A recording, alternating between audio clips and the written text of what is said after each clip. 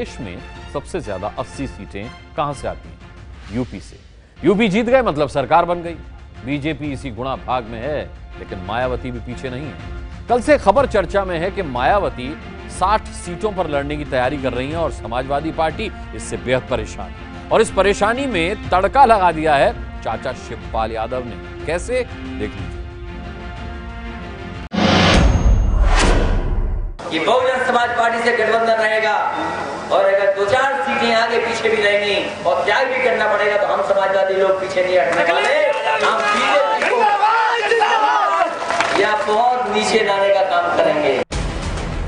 ये बात तो पुरानी हो चुकी है लेकिन आज नई इसलिए है क्योंकि ऐसी कुर्बानी की कल्पना के बारे में तो शायद समाजवादी पार्टी के कार्यकर्ताओं ने सपने में भी नहीं सोचा होगा। असल में खबर ये चल रही है कि मायावती यूपी में 60 लोकसभा सीटों पर लड़ने की तैयारी कर रही हैं।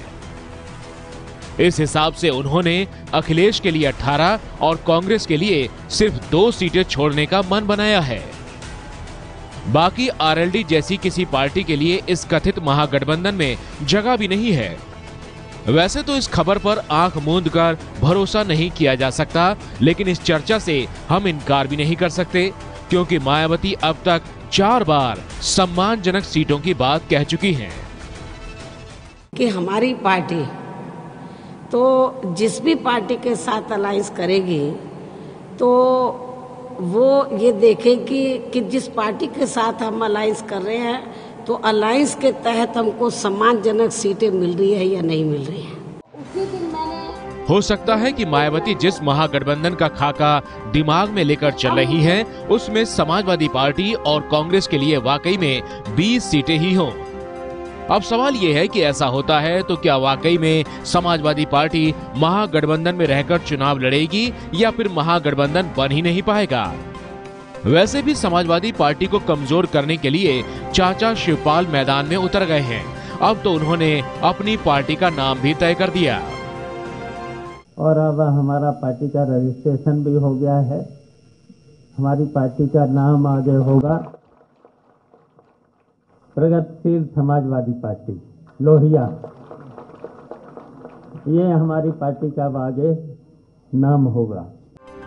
इस स्थिति में अखिलेश यादव अगर समझौते में हाथ नीचे रखते हैं तो फिर उन लोगों के लिए विकल्प खड़ा हो जाएगा जिनको वो टिकट नहीं दे पाएँगे। यानी शिवपाल ने ऐसी लकीर खींच दी है जो महागठबंधन को बनने से पहले ही तोड़ सकता है। वैसे भी महागठबंधन की कल्पना इसलिए हकीकत का रूप लेती नहीं दिख रही, क्योंकि एमपी और छत्तीसगढ़ में महागठबंधन नहीं बन पाया। छत्तीसगढ़ में मायावती का कांग्रेस विरोधी जोगी से गठबंधन है।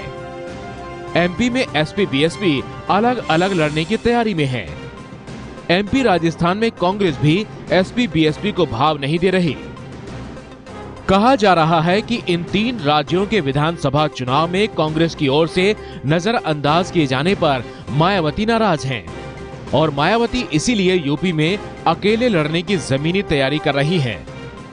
हालाँकि एबीपी न्यूज़ के UP bureau chief Pankaj Jha का आकलन है कि मायावती की माया तो वही जाने उनके मन में क्या है। उनकी परछाई को भी पता नहीं, लेकिन अब तक की जानकारी में ये सब गप है। बीएसपी और समाजवादी पार्टी में गठबंधन तय है। ऐसे में ये भी हो सकता है कि महागठबंधन विरोधी कैंप की ओर से इस तरह की खबरें फैलाई जा रही हों। चुनाव का वक्त है इसलिए तरह तरह की खबरें चर्चा में आएँगी। लेकिन जब तक आग न हो तब तक धुआँ उठता नहीं है इसका ख्याल तो रखना ही होगा। 11 दिसंबर सबसे तेज नतीजे सिर्फ़ एबीपी न्यूज़ पर। ये है एबीपी न्यूज़ आपको रखे आगे।